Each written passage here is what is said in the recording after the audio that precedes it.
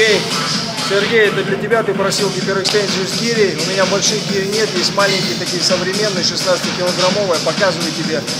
Эту гиперэкстензию можно делать на ягодичные мышцы, а также на, за... на бицепс бедра. Вот. Ну, элементарно и просто. Во-первых, надо правильно установить лавочку, чтобы она разделяла середину ягодичной мышцы, грань была. Ну и вот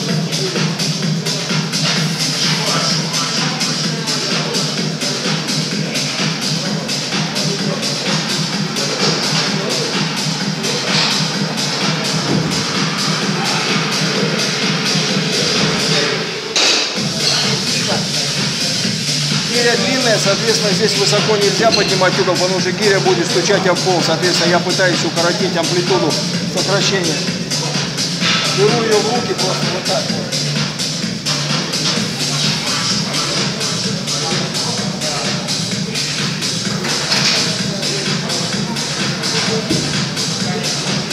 Почему я не делаю вот так? Некоторые скажут, что можно делать так. Поясняю. Когда у меня работает связки и бицепс руки, а мне этого не надо. Я пытаюсь изолировать нагрузку и делать только бицепс бедра и ягодичные мышцы. Поэтому делаю на прямых руках. Вариаций много, пробую разные. Мой совет делать так, как я показал. 4 подхода по 16 повторений, 16 килограммовой гири. Думаю, этого будет абсолютно достаточно, чтобы проработать мышцы бедра и ягодичные. Все, пока.